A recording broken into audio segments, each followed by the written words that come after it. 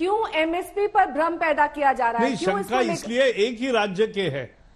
एक ही राज्य के किसानों के मन में आशंका है।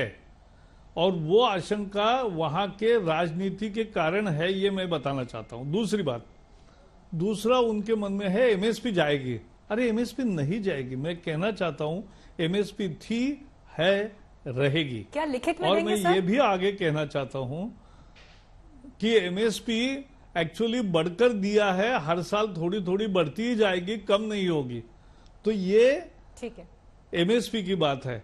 अब जहाँ तक एमएसपी का लोग कह रहे हैं कि भाई गारंटी क्या है? गारंटी पचपन साल क्या थी? पचपन साल चल रही है ना तो आगे भी चलेगी। तो एमएसपी पचपन साल चल रही है। आज नहीं हमने नहीं शुरू किया है। सात साल में मोदी आने के बाद नहीं शुरू किया। ये पहले से है।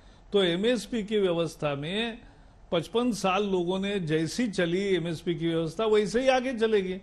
जी। इसमें क्या प्रॉब्लम है?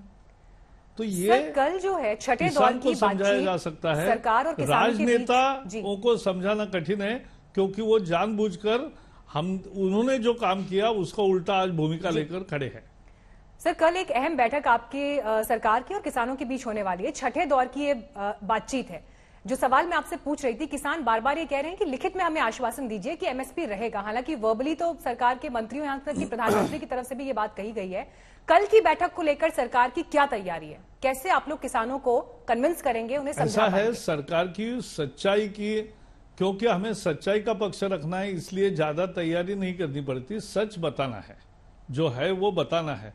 लेकिन सरकार ने लचीला रूख रखकर अगर गलत फहमी को ठीक करने का कोई रास्ता है तो वो भी अपनाने की तैयारी कब की दिखाई है? मुझे लगता है यही काफ़ी है। बाकी चर्चा तो यहाँ टीवी के सामने थोड़ी होगी। वो तो किसानों के सामने होगी।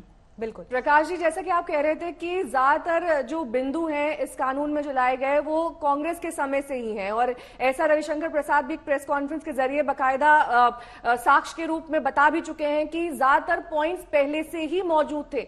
ऐसे में कांग्रेस ने अपना स्टैंड जो एन वक्त पर बदल लिया, विपक्षी दल के तौर पर, या फिर यूँ कहें कि राजनीतिक फ़ायदे के तौर पर। इसको अब किसान आंदोलन के रूप में आगे बढ़ा रहे हैं। पहले कांग्रेस सामने आई, अब 24 अन्य विपक्षी पार्टियों का भी समर्थन कांग्रेस को तमाम किसानों को हासिल हो रहा है। ऐसे में ये जो स्थिति इस वक्त है, न आर, न पार, और तमाम किसान धरने पर बैठे हुए हैं, कैसे सुलझा पाएँगे इसे? कैसे मना पाएँगे इन्हें? किसानों को मनाना आसान है, राजनेताओं को मनाना कठिन इसलिए होता है, क्योंकि उनको मालूम है कि वो झूठ बोल रहे हैं तो भी वो सच के जैसा बोलेंगे, ये मुद्दा है। उनको मालूम है कि हम पाखंड कर रहे हैं।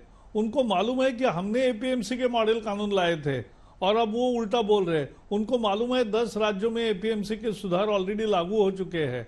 उनको मालूम है कि कॉन्ट्रैक्ट फ़ार्मिंग के कानून पंद्रह राज्यों में हुए हैं, बहुशा कांग्रेस के राज्य थे। और कॉन्ट्रैक्ट फ़ार्मिंग लागू हुआ है, अब उसका विरोध कर रहे तीसरा कानून जो है एमएसपी तो चालू रहेगी, ये हम बताए है और बताते रहेंगे। और जैसे मैंने कहा पचपन साल जिस तरह से एमएसपी चल रही है वैसे ही आगे भी चलेगी। तो इसमें कोई मुद्दा नहीं है और इसलिए अपोजिशन का फ़ायदा नहीं होगा उल्टा नुकसान होगा।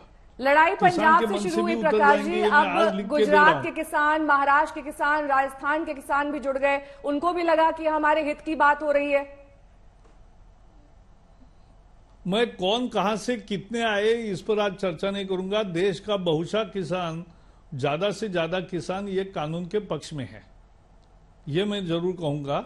लेकिन आज मैं उस चर्चा में नहीं जाना चाहता कि। कहाँ से किसान आए कौन किसान है कौन नहीं है ये नहीं मैं बात करना चाहता।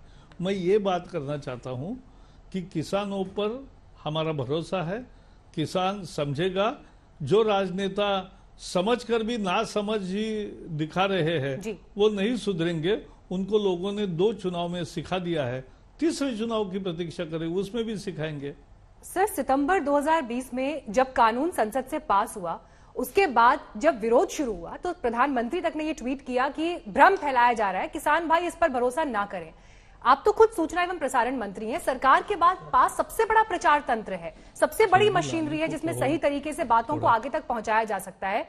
ये भ्रम की स्थिति तीन महीने से क्यों जारी है? क्या जी? प्रचार तंत्र सबसे बड़ा सर आपके पास है। सबसे बड़ी मशीनरी सरकार के पास है समझाने बुझाने के लिए। तो ये भ्रम जो है ये अगर भ्रम की जो स्थिति आप कह रहे हैं ये क्यों बनी हुई है? नहीं नहीं देखो देखो भ्रम पैदा भी किया जा सकता है और अफवाह टिक भी सकती है। और इसलिए उसको दूर करना थोड़ा कठिन काम होता है। सोशल मीडिया के जमाने में तो हमने देखा है कि एक अफवाह को कैसे जनता हाथों हाथ उठाती है उसको दूर करने में ज़्यादा समय लगता है। तो ये होता है हम करेंगे और हमें विश्वास है कि हल निकलेगा शांतिपूर्ण तरीके से निकलेगा और इसका समाधान होगा।